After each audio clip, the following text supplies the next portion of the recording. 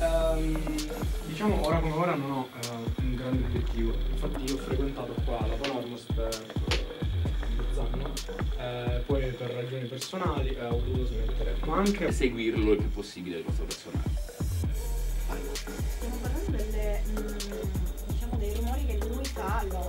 Con la bocca, tipo quando lui ha pestato il pezzetto di ramo. No. Quindi è per quello che vi dico, dovete leggere tantissimo e da adesso voi dovete mettervi a studiare dizione a casa, non qua, come se non ci fosse un domani. Grazie. Se volete fare. Quel SM, se lo troverete da qualche parte, i versi sul muto sono quella roba lì.